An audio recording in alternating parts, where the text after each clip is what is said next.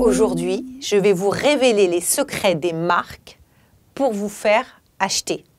Vous avez dû remarquer que d'année en année, en fait, on avait de plus en plus de choix et de plus en plus de marques. Donc, nous étions extrêmement sollicités. Mais en définitive, est-ce que nous pouvons acheter tout ce qui existe? Non. Donc, les marques sont obligées d'être de plus en plus inventives pour que vous veniez consommer chez elles. Alors que font-elles très exactement? Eh bien, un des premiers points, et, vous en connaissez euh, certaines qui sont très très fortes là-dessus, elles vous font prendre des cartes de fidélité.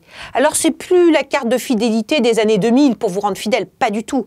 Parce que vous rendre fidèle, c'était vous amener vers la boutique. Là, elles vous amènent pas, elles vous attrapent à travers du multicanal. Elles prennent l'ensemble de vos coordonnées et elles vont vous envoyer des offres à peu près à un rythme d'une fois par mois, par mail, par SMS. Et si vous êtes un client plus plus, vous allez même les recevoir par courrier.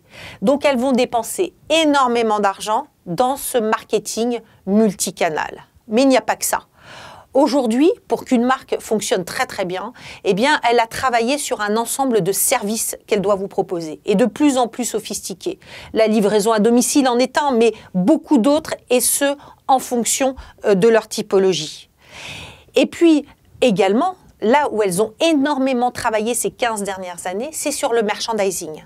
Et là, elles ont un secret, c'est d'avoir des bacs bien pleins ou des linéaires bien pleins également. Parce que je ne sais pas si vous savez ou pas, mais plus vous voyez de produits, un même produit, plus vous avez envie de l'acheter. Ça, c'est une étude qui a été faite dans les années 90 et que les marques ont su parfaitement bien mettre en place. Et surtout, d'ailleurs, euh, les marques qui sont plutôt euh, low cost. Elles vous en mettent beaucoup, beaucoup devant vous et vous avez l'impression qu'il y en a beaucoup et que c'est pas cher.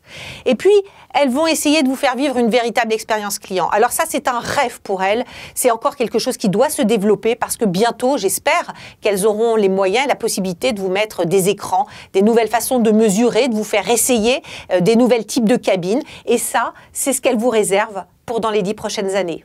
Alors maintenant vous êtes au courant, les marques vont devoir peut-être être encore plus créatives pour vous faire consommer.